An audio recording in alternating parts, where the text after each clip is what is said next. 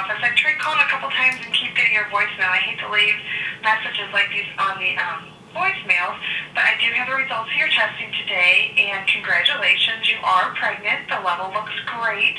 The level is 424. We're happy with any level that's over 100. We don't have an exact number that we're looking for. Um, what we'd like to do is repeat this level in one week.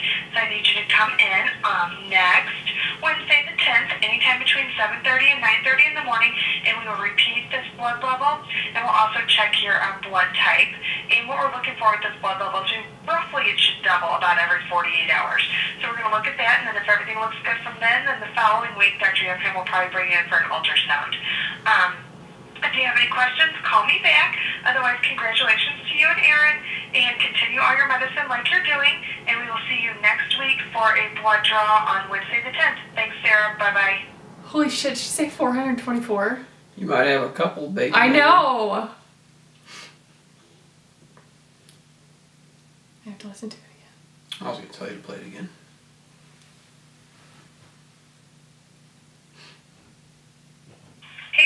Sarah, this is Lori from Dr. Youngheim's Lori. office. I've tried calling a couple times and keep getting your voicemail. I hate to leave messages like these She on scared the, me at that point. Yeah, I know. I was like, oh But I do have the results of your testing today, and congratulations, you are pregnant. The level looks great. The level is 424. At this point, we're happy with any level that's over 100. We don't have an exact number that we're looking for. And what we're looking for with this blood level is roughly it should double about every 48 hours.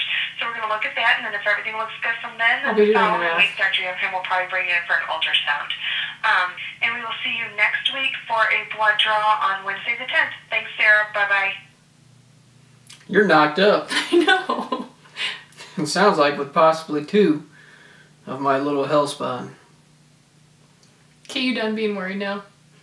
Yeah, I'm pretty confident with that one. with the 400, I wasn't expecting it to be that high.